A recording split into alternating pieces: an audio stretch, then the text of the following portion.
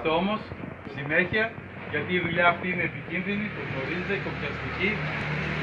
Να τηρείτε τους κανόνες ασφαλείας μαζί με τους ε, μόνιμους εδώ που είναι οι επικεφαλείς για να όσοι πηγαίνουμε στα συμβάντα να γυρνάμε πίσω, υγιείς και δυνατοί.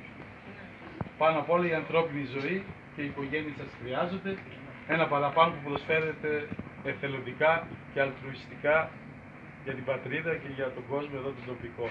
Ευχαριστώ και πάλι. Να είστε καλά, να συνεχίσετε το αξιόλογο έργο σας. Μια μικρή.